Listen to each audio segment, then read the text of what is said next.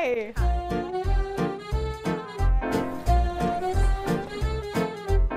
So this next one is our 2013 Chardonnay, It's a perfect blend.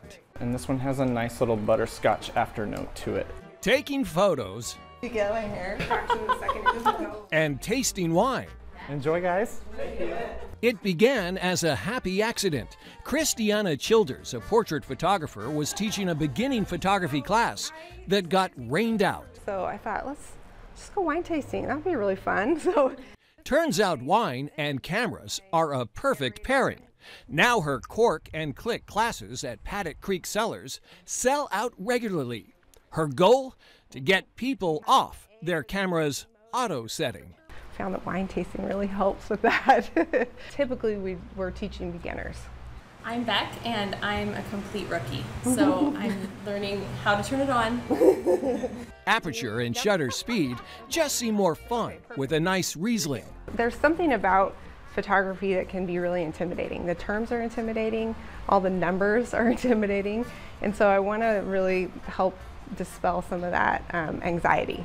Um, and I feel like that really helps, you know, to have just sit around a table and have a glass of wine together. The winery setting also provides plenty of inspiration. I'm learning a lot. I'm really excited. Yeah, I had no idea what the word aperture even meant before I sat in that room. And I just took a really beautiful picture of lilacs. So that's exciting. Soon, students have enough command of their cameras to stop time. I love the sound of that. find their focus, and have fun. Ready? One, two, three.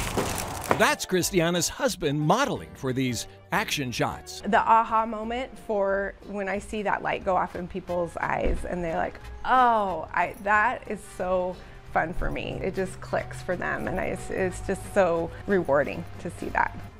Christiana's number one tip for taking good photographs is this. There's beauty all around you and if you're paying attention, you'll find it. And sometimes you find that beauty in a glass of Pinot Noir. Isn't it pretty against the blue sky?